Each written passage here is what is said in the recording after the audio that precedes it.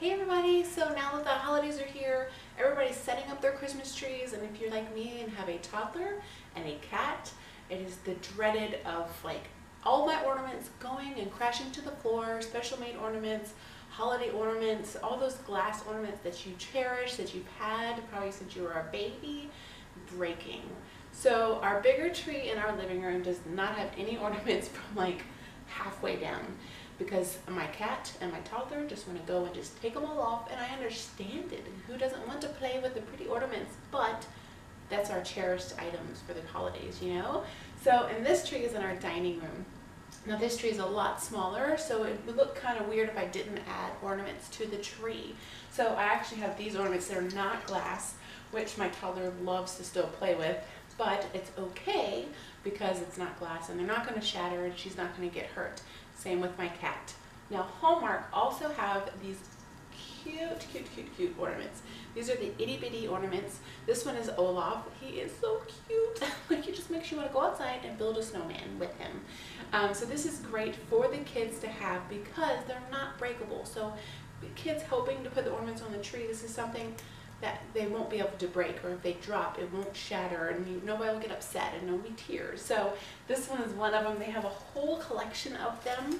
I also have Elsa and pulling out of my magic stocking I have Anna. So because of Hallmark making these wonderful um, ornaments for kids to be able to use and touch, and if you were to see them play with them, it wouldn't be the end of the world. So these are great for kids to actually be able to participate in decorating the tree. Now also, my mother and my mother-in-law love giving us ornaments as a Christmas gift every single year.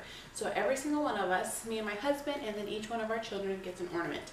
So we have tons of ornaments but a lot of them are, have sentimental value to them and a lot of them could be breakable and the kids don't understand that you know what the meaning behind ornaments are. They just don't understand that. So if you were to get the itty bitty ones this is something your children would love because it's something that they love. Most kids in America love the movie Frozen and my cat is playing in my tree as I'm doing this video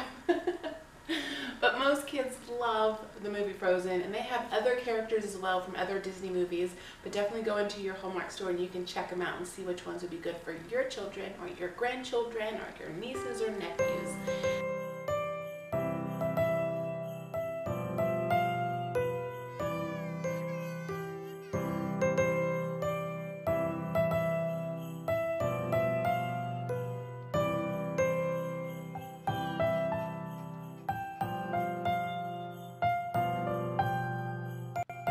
Um, but you also can use them as a stocking stuffer. So if you have children, if you have a special day that you do this, maybe if you do, uh, you know, a tree set, you know, decorating day, you can each put an ornament in there for the kids. So they each get an ornament and they have to go find their stocking. All they have to do is pull it out. That's their new ornament for the year and it's safe for them to put on the tree because it will not break. So let's put this one on here.